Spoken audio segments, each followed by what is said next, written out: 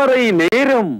Bible அவர் presented by the national Bible college கிறிஸ்துவின் சபையார் உங்களை வாழ்த்துகிறார்கள். Welcome to Satellite Bible Classes. அழைக்கிறார் அழைக்கிறார் இதோ நீயும் வா உந்த நேசர் ஆவலாய் அழைக்கிறார் இதோ. அழைக்கிறார் அழைக்கிறார் இதோ. நீயும் வா உந்த நேசர் ஆவலாய் அழைக்கிறார் இதோ. நீயும் வா உந்த நேசர் ஆவலாய் அழைக்கிறாரிதோ பாவத்தை ஏற்றவர் பலியாய் மாண்டவர் கல்வாரியின் மேட்டினில் கண் கொள்ளாத காட்சியே. கல்வாரியின் மேட்டினில் கண் கொள்ளாத காட்சியே. கண்டிடும் வேண்டிடும் பாவபாரம் நீங்கிடும். கண்டிடும் வேண்டிடும் பாவபாரம் நீங்கிடும். அழைக்கிறார் அழைக்கிறார் இதோ. நீயும் வா உந்த நேசர் ஆவலாய் அழைக்கிறார் நோயையும் ஏற்றவர் பெயையும் வென்றவர். நீதிபாரன் உன்னோயை நிச்சயமாய் தீர்த்தாரே. நீதிபாரர் உன்னோயை நிச்சயமாய் தீர்த்தாரே.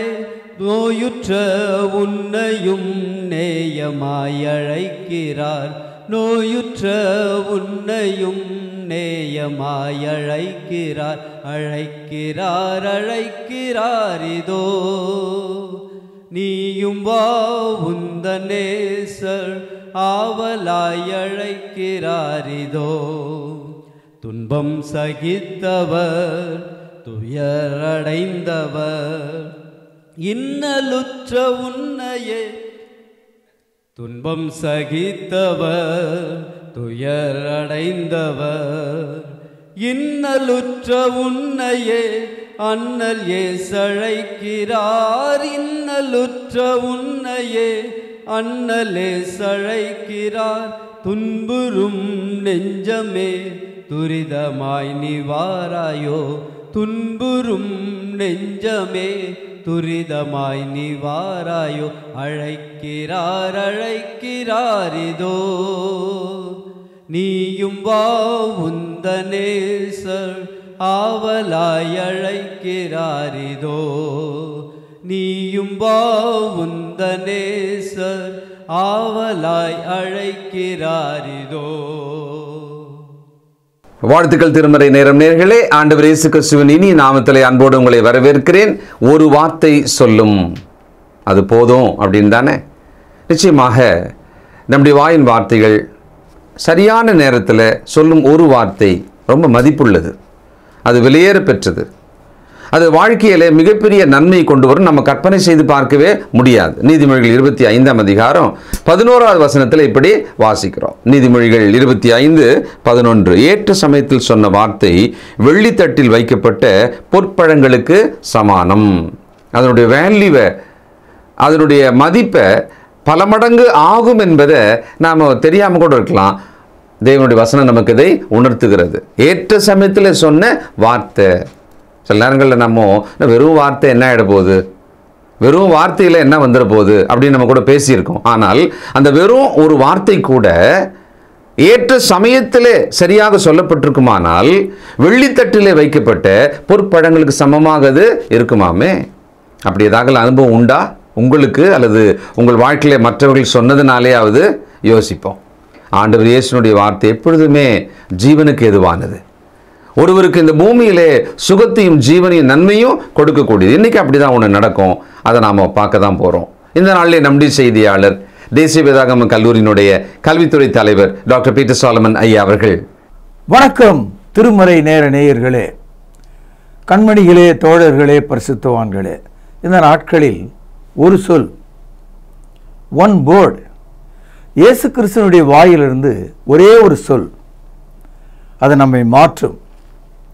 நம்முடைய வாழ்க்கையில் கூட மனிதர்களாகி நாம் சொல்ல வேண்டிய ஒரு சொல்லை சரியான நேரத்தில் நம்ம சொன்னோம்னா ஆச்சரியமான காரியங்கள் நடக்கும். காரணம் மனிதனுடைய வாய் ரெண்டு விஷயங்களை உடையதாக இருக்கிறது. அதற்குள்ளே ஜீவன் இருக்கிறது மரணமும் இருக்கிறது. நாவின் அதிகாரம் என்று இது பேசப்பட்டிருக்கு. இதை நீதிமொழிகள் பதினெட்டாவது அதிகாரம் இருபத்தி ஓராவது வசனத்தில் நம்ம படிக்கிறோம். சகோதரர்களே இந்த உலகம் பொல்லாத ஆவியினால நிறைந்ததாக இருக்கிறது. நாம் இந்த ஆவிகளை எதிர்கொண்டு வாழ வேண்டியதாக இருக்கிறது. கிறிஸ்தவ வாழ்க்கையில் தேவன் நமக்கு நம்மை சுற்றி இருக்கிற சகல விஷயங்களை குறித்து தமது வார்த்தையினால நமக்கு வெளிப்படுத்தி இருக்கிறார் அதில் ஒன்று கவனிங்க. எபேசியர் ஆறாவது அதிகாரம் பத்தாவது வசனம். இது ரொம்ப புரிஞ்சு கொள்ளக்கூடிய அளவில் சுலபமாக இருக்குது கவனிங்க. பத்தாவது வசனம். கடைசியாக என் சகோதரரே கர்த்தரிலும் அவருடைய சத்துவத்தின் வல்லமையிலும் பலப்படுங்கள். அதாவது கர்த்தர் அவருடைய சத்துவம் அப்படின்னா பலம். கர்த்தருடைய சத்துவத்தில் பலப்படுங்கள். இந்த வசனம் யாருக்கு சொல்லப்பட்டிருக்கு? சகோதரர்களுக்கு இயேசு கிறிஸ்துக்குள்ள இருக்கிற தாசர்களுக்கு. ரெண்டாவது பவுலடியார் தன்னுடைய நிருபத்தினுடைய ஒரு கடைசி செய்தியாக சொல்லுகிறார். அதனால்தான் கடைசியாக என் சகோதரரே இது ஒரு கவனிக்க வேண்டிய ஒரு விஷயம். நம்முடைய அப்பா அம்மா சில சமயங்களில் வீட்டை விட்டு வெளியே போகும்போது நம்மக்கிட்ட கடைசியாக ஒரு வார்த்தை சொல்லுவாங்க. வீட்டை உள்ள உள்பக்கமாக தாழ்பால் போட்டு பத்திரமாயிரு என்று சொல்லுவாங்க இல்லையா? வீட்டை பூட்டி கொண்டிரு என்று சொல்லுவாங்க இல்லையா? அதே மாதிரி தான் இந்த கருத்து இங்கே பேசப்பட்டிருக்கு. பாருங்கள் பதினோராவது வசனம். நீங்கள் பிசாசின் தந்திரங்களோடு எதிர்த்து நிற்க திராணி உள்ளவர்களாகும்படி தேவனுடைய சர்வாயுத வர்க்கத்தை தரித்து கொள்ளுங்கள். கடைசியான ஒரு செய்தி தான் என்ன சொல்றாரு? பொல்லாத ஆவியாகிய பிசாசு இந்த உலகம் முழுதும் இருக்கிறான். நீங்கள் உங்களை பாதுகாத்துக் கொள்ளுங்கள். இப்போ உலகம் முழுதும் பயமுறுத்துகிற இந்த கொரோனா வைரஸ்க்காக நம்முடைய மூக்கு வாய் காது இதெல்லாத்தையும் மாஸ்க் போட்டு கட்டி பாதுகாத்துக்கிறோம். கையில் ஒட்டிக்கொள்ளும் அந்த கிருமிக்காக கைகளை தினமும் ஒரு பத்து தடவை இருபது தடவை கழுவுவதாக இருக்கிறத நம்ம பார்க்குறோம். அப்போது நம்ம இந்த நோயிலிருந்து நம்மை காப்பாற்றி கொள்ள ஒருவர் அருகிலே நாம் ரொம்ப கிட்ட போகாமல் தூரமாக இருக்கிறோம். இரும்புவது தும்புவது போன்ற விஷயங்கள்லேருந்து நம்ம விலகி இருக்கிறோம். இல்லையா? அப்போது நம்மை பாதுகாத்து கொள்ள ஒரு பாதுகாப்பு உடையை நம்ம அணிஞ்சுக்கிறோம் வாய் மூக்கை பாதுகாக்கிறதுக்கு ஒரு துணி எடுத்து காதோட கட்டி வைத்திருக்கிறோம். இப்பொழுது உலகத்திற்கு எல்லாருக்கும் மூக்கையும் வாயையும் எப்படி பாதுகாத்துக்கணும் அப்படின்னு எல்லாருக்குமே தெரியும். அவர் யாராக இருந்தாலும் சரி எல்லாரும் வந்து இப்போ மாஸ்க் கட்டி இருக்கிறத நீங்கள் பார்க்கலாம். இல்லையா? அது மாதிரி என்ன சொல்கிறாரு நீங்கள் பிசாசின் தந்திரங்களோடு எதிர்த்து நிற்க திராணி உள்ளவர்களாகும்படி தேவனுடைய சர்வாயுத வர்க்கத்தை உடுத்திக் கொள்ளுங்கள். அல்லது தரித்து கொள்ளுங்கள். தரித்து கொள்ளுதல் அப்படின்னா இப்போ நான் வந்து உடையை உடுத்து கொள்றதுன்னா அர்த்தம் தெரியும். தரித்து கொள்றதுனா அந்த இடத்த விட்டு அது அகலாதபடிக்கு அங்கேயே நிறுத்துறது. அதனால தான் நம்ம வந்து ஒரு ரப்பர் பேண்ட் போட்டு காது பின்னால் இந்த மாஸ்க்கை வந்து இறுக்கமாக கட்டி வச்சுருக்கோம். சும்மா அப்படியே காற்றுல ஆடுற மாதிரி இல்லாமல் அது அங்கேயே இருக்கணும் ஸ்டேபிளாக இருக்கணும். ஆங்கிலத்தில் ஃபேஸ்டன்னு ஒரு வார்த்தை இருக்குது அப்படின்னா என்ன அர்த்தம்னா ஃபிக்ஸ் பர்மனெண்ட்லி ஆகவே தேவனுடைய சர்வாயுத வர்க்கத்தை நீங்கள் தரித்து கொள்ளுங்கள். காரணம் என்ன? பன்னிரெண்டாம் வசனம் பாருங்கள். ஏனெனில் மாம்சத்தோடும் இரத்தத்தோடும் மட்டுமல்ல துரைத்தனங்களோடும் அதிகாரங்களோடும் இப்பிரபஞ்சத்தின் அந்தகார லோகாதிபதிகளோடும் வானமண்டலங்களில் உள்ள பொல்லாத ஆவிகளின் சேனைகளோடும் நமக்கு போராட்டம் உண்டு. கிறிஸ்தவர்களில் நிறைய அறிவாளிகள் பைபிளையே கரைச்சி குடிச்சிருப்பாங்க. நான் மட்டும்தான் அப்படின்னு சொல்கிறவங்க இருக்காங்க. நான் மட்டும் பரலவம் போவேன்னு சொல்கிறவங்க இருக்காங்க. எல்லாம் தெரிந்த ஏகாம்பரம் போன்றவர்கள் அவர்கள். எனக்கு தெரிஞ்சு பர்சுத்தாவை தெரிந்து கொண்டிருக்கிற ஒரு மனிதன் அசுத்தாவினுடைய காரியங்களை தெரிந்து கொள்ளாமல் இருக்கான். அதான் ஆச்சரியம். பரிசுத்தாவி குறித்து பிரசங்கம் செய்கிற போதகர் அசுத்தாவி துரத்த முடியாதவராக இருக்கிறார். அசுத்தாவியை துரத்துவது கிறிஸ்தவத்தினுடைய ஒரு உபதேசமாக இருக்கிறது. மத்தை பத்தாவது அதிகாரம் எட்டாவது வசனத்தில் பிசாசுகளை துரத்துங்கள் என்று போதிக்கப்பட்டிருக்கு. பிசாசுகளை துரத்துவதற்கான ஒரு வார்த்தையை நாம் பேச வேண்டும். அப்பொழுது அவன் ஓடி போவான் தண்ணி எடுத்து முகத்தில் அடிக்கிறதோ வேப்பில் எடுத்து தலையில் அடிக்கிறதோ அந்த மாதிரி நான் சொல்லல. You need to speak the word of God தேவனுடைய வார்த்தை எடுத்து பேசணும். பிசாசுக்கு எதிர்த்து நில்லுங்கள். அப்பொழுது அவன் உங்களை விட்டு ஓடி போவான் என்று சொல்லப்பட்டது. ஒன்று பேசுகிற ஐந்தாவது அதிகாரம் எட்டாவது வசனத்தில் பிசாசானவன் கர்ஜிக்கிற சிங்கம் போல எவனை விழுங்கலாமோ என்று சுற்றி பார்த்து வகை தேடி அலைகிறான் என்று படிக்கிறோம். So devil the evil spirit is like a roaring lion என்று படிக்கிறோம். சகோதரர்களே ஒரு அற்புதமான சுகத்தை இயேசு கொடுக்கிற ஒன்றை நாம் பார்க்கிறோம். இதை மத்தேயு பதினேழாவது அதிகாரம் பதினாலாவது வசனம். அவர்கள் ஜனங்களிடத்திலே வந்தபோது ஒரு மனுஷன் அவரிடத்தில் வந்து அவர் முன்பாக முழங்கால் படியிட்டு ஆண்டவரே என் மகனுக்கு இறங்கும் அவன் சந்திர ரோகியாய் கொடிய வேதனைப்படுகிறான்.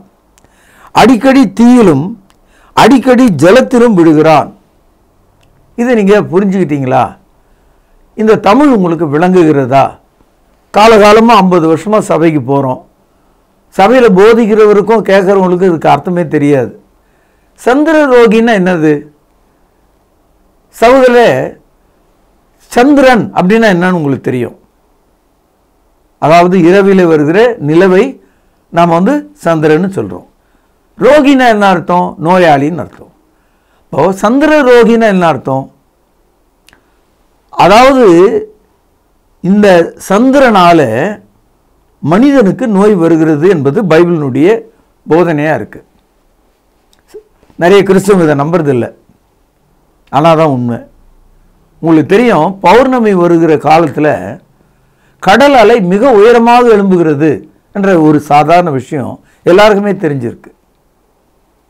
அதே மாதிரி அமாவாசை வருகிற அன்றைக்கு சகல பொல்லாத ஆவிகளும் அவர்கள் இருக்கிற இடத்துலேருந்து வெளியே வருகிறார்கள் என்ற ஒரு சமூக அறிவு மனிதனுக்கு தெரியும். அதனால்தான் சங்கீதத்தில் இப்படி நாம் படிக்கிறோம். சங்கீதம் நூற்றி இருபத்தி ஒன்று ஆறாவது வசனம். பகலிலே வெயிலாகிலும் இரவிலே நிலவாகிலும் உன்னை சேதப்படுத்துவதில்லை. சங்கீதம் தொண்ணூற்றி ஒன்று ஐந்து ஆறு வசனங்கள்.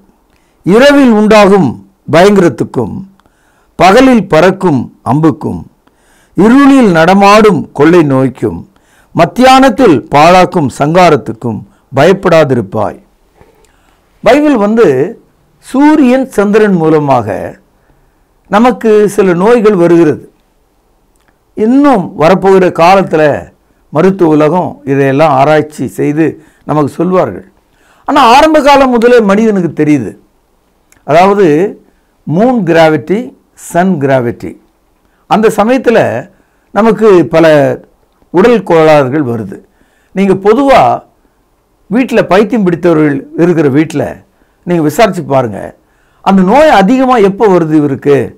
அவனுக்கு அந்த கஷ்டம் எப்போ அதிகமாகுது அப்படின்னு கேட்டால் படித்தவங்க படிக்காதவங்க எல்லாருமே ஒரே விஷயம் சொல்கிறாங்க அதாவது பௌர்ணமி அன்னைக்கு என் இந்த பையனுக்கு அதிகமாக குழப்பம் உண்டாகுது.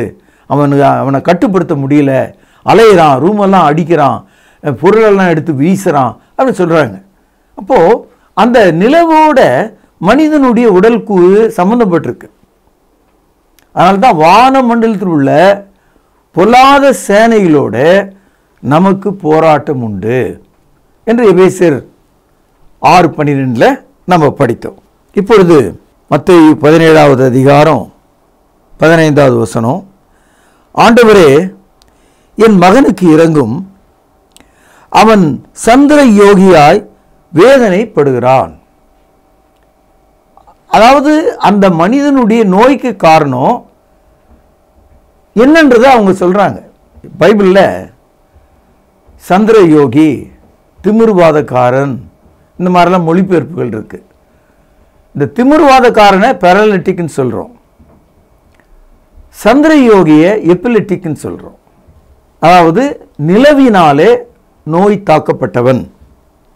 சரி இந்த சந்திர யோகியினுடைய உச்சகட்டம் அந்த நோயினுடைய உச்சகட்டம் திபு திபுன்னு நெருப்பு எரியுதுன்னு வைங்க.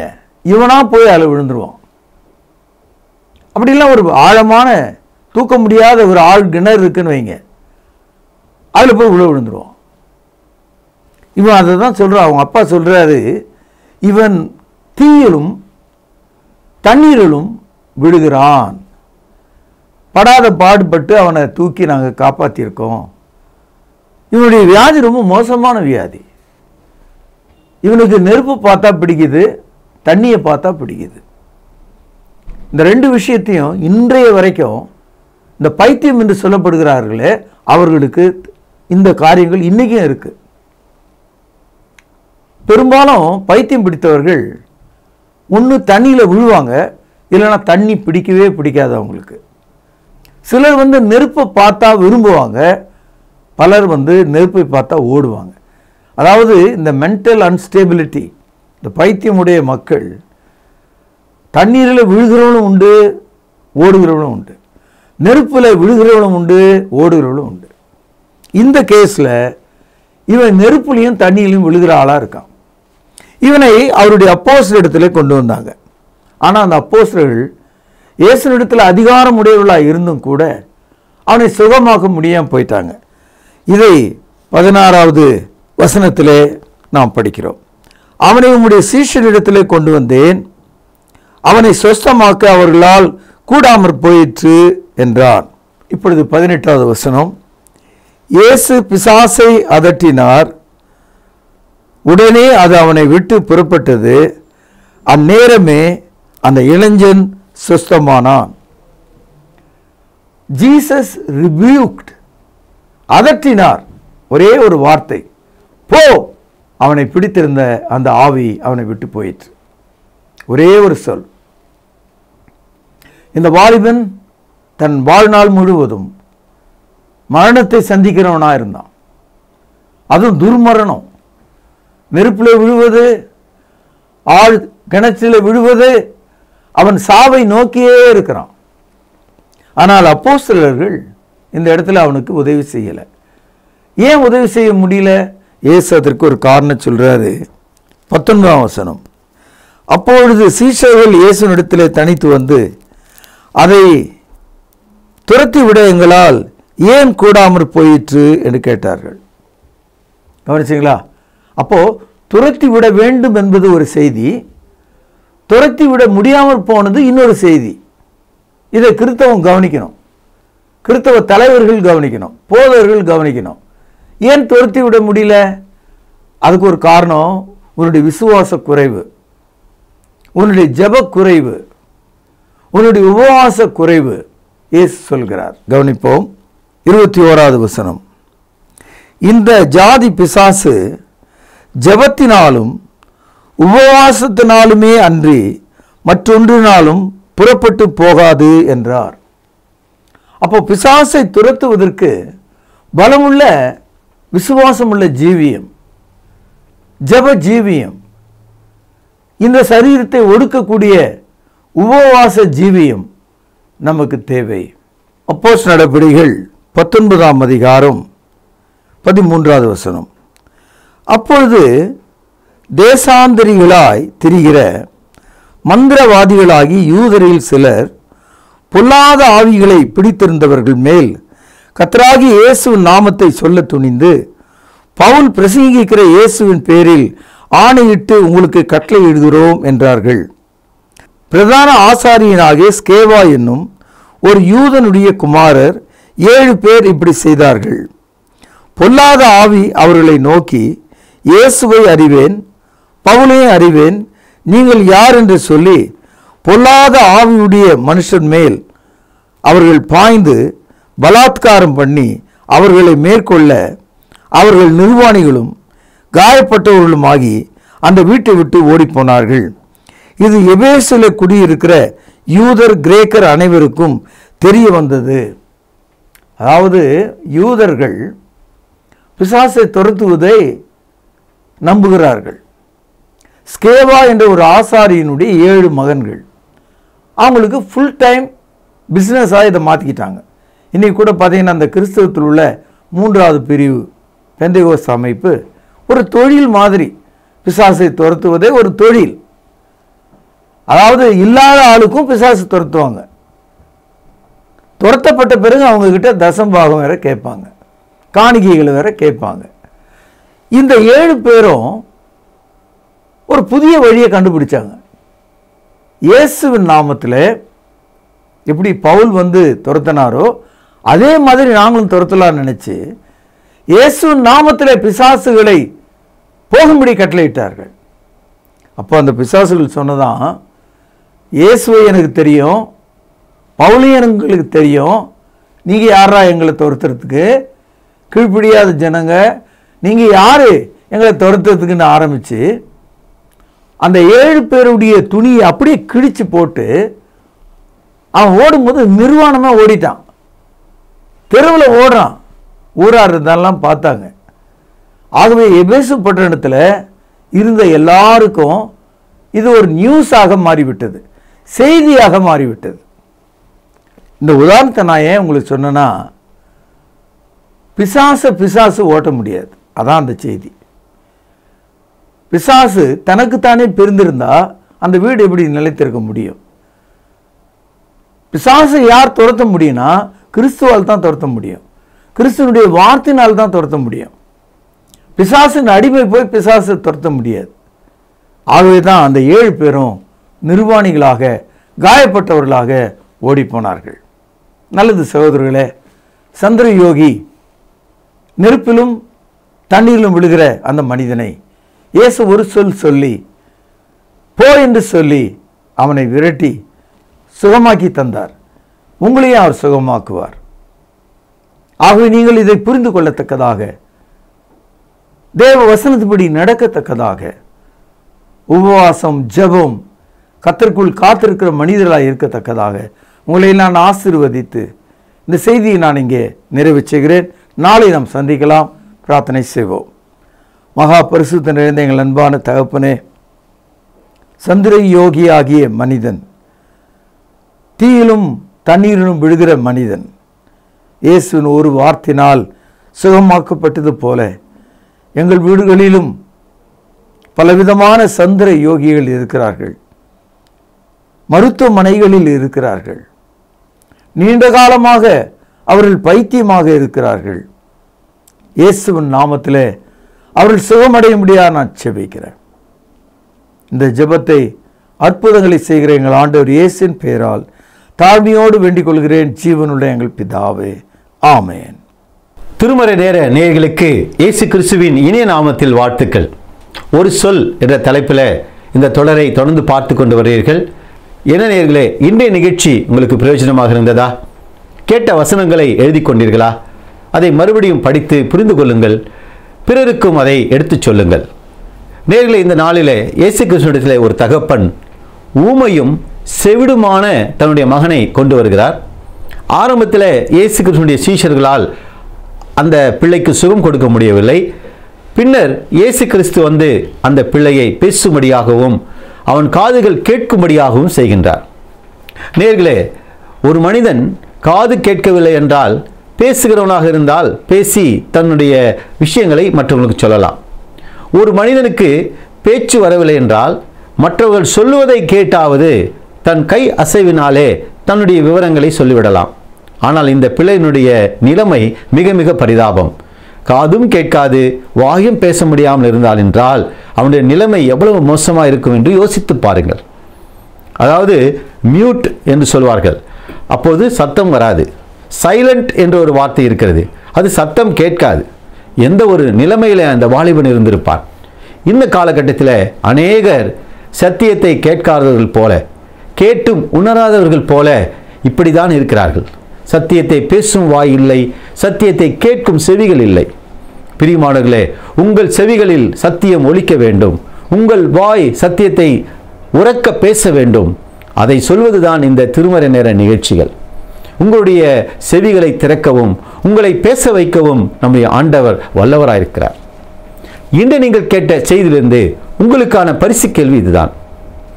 அப்போஸ்தலரால் அந்த வாலிபனை ஏன் சுகமாக்க முடியவில்லை? கேள்வியை எழுதிக்கொண்டு சிந்தித்து சரியான பதிலை எழுதுங்கள்.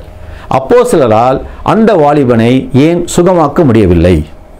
எழுதி கொண்டீர்களா சரியான பதிலை எழுதுங்கள் பரிசுகள் காத்திருக்கிறது.